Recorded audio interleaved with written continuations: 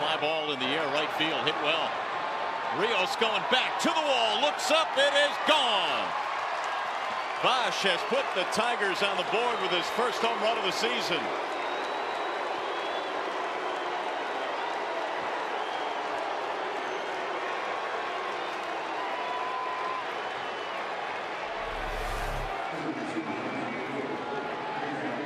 Crane threw Brennan Boesch a 2-0 breaking ball.